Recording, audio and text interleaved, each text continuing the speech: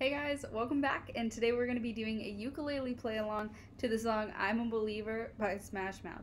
So, this song uses chords that we've learned before. It uses G, it uses C, and it uses F. It uses one more that we haven't talked about. It uses D. So, for D, you're going to take your first finger and you're going to go to that second fret of your top string. Then you're going to take your second finger or your middle finger and you're going to go on the second fret of your second string from the top. Then you're going to take your third finger and you're going to go on the second fret of the third string from the top. So it's just straight across one, two, three, all on the second fret. Should sound like this. So it uses those four chords. Um, let's get started. It there's a part there's some parts that go really fast between C and G. where it's going to be just two strums down,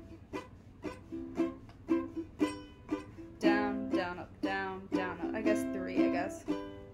Down, down, up, down. And if that's too fast, then just do down strums. Down, down, down, down. All right, let's get playing.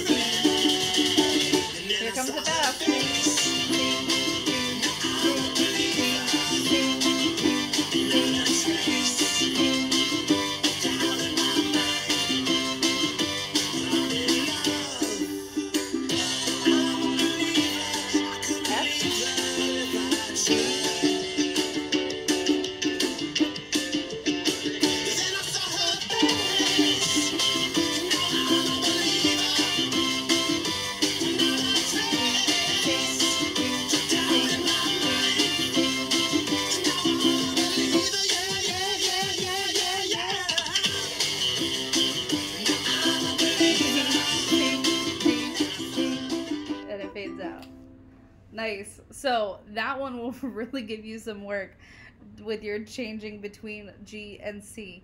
Again, if the song is too fast, you can always go into the settings and change the speed of the video to play it at a slower speed until you get it up to speed. I hope you had fun. Uh, let me know if there's other songs you want to see in the future. You can leave your comment on my Google Classroom um, or you can email me. Until then, stay safe and see you next time.